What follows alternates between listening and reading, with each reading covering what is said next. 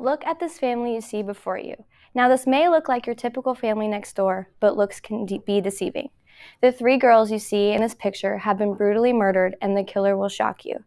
Now, before I dive into this tragedy, I want to tell you about the background of the family, the disappearance of these girls, and the tragic events that led to the murder. Shanann and Chris met in 2010. They soon began, began dating and got married in 2012. But Chris's parents did not attend, for they did not really approve of Shanann.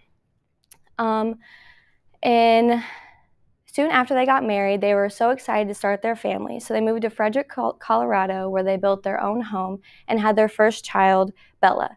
Soon after, they had a second, Celeste. Now, if you look at Shanann's Facebook, you will see not only the love they have between Shanann and Chris, but the love they have between their entire family.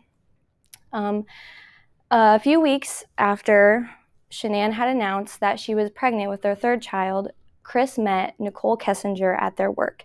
They hit it off and started to have a little bit of a relationship. Um, according to the Netflix documentary, um, Chris and Nicole started having a more intimate relationship weeks after they started dating. Um, so Shanann went on now that you know the characters that play an important role in this tragedy, I will tell you about the disappearance of Shanann and her kids. Shanann went on a business trip to Arizona in August of 2018. She then returned home at around 2 in the morning and her friend dropped her off. But her friend was getting a little worried because Shanann was not answering any texts or calls, and she had missed a doctor's appointment that day for her pregnancy. So Sh- Shanann's friend called the police and asked them to do a wellness check on the house. Shanann was Shanann's friend was the first to arrive, but they couldn't seem to get in. But Chris soon followed after, for they had called him to meet them at the house. Chris let them in with no problem, and they were looking around and saw no signs of any disturbance or any sign of struggle from the girls.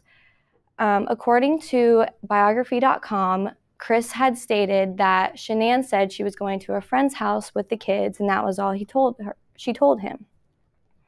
Um, as they were looking around, Chris found Shanann's wedding ring on the side table and her phone, which was unlike Shanann, and she would never leave without her phone.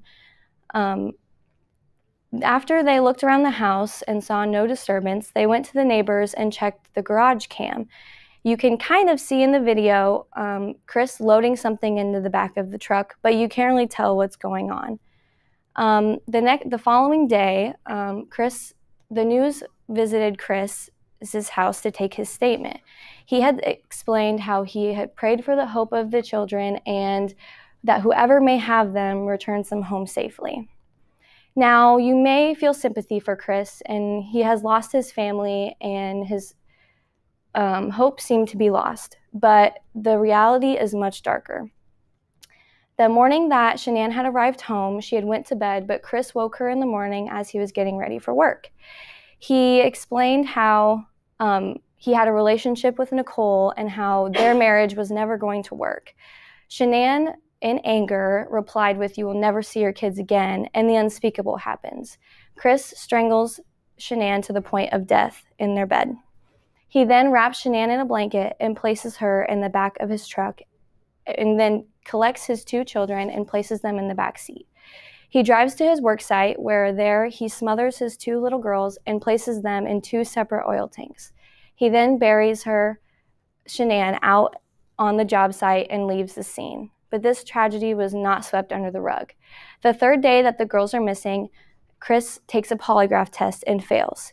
He refuses to tell the police what had happened, but he tells his father that he had killed Shanann, but falsely claimed it was because she had smothered his two kids and he did it out of anger. The following day, the police recovered all three bodies at his job site. Um, according to NBC News, Chris was charged with five counts of first degree murder, three counts of unlawful of tampering with a body, and one count of unlawful termination of a pregnancy. Chris had pleaded guilty to all nine counts and was sentenced to life in prison, for the family did not wish the death penalty upon him. He then in he then in prison explained in detail how and why he had killed his family. Now, now, uh, the family you see before you um, seems like the perfect family, but looks can be deceiving, and you never know what goes on behind closed doors. Um, since I have reviewed the background of the family, the disappearance of these girls, and the tragic events that happened, I want us to remember this tragedy and pray for the family in hopes that they can heal. Thank you. Ah! That was scary.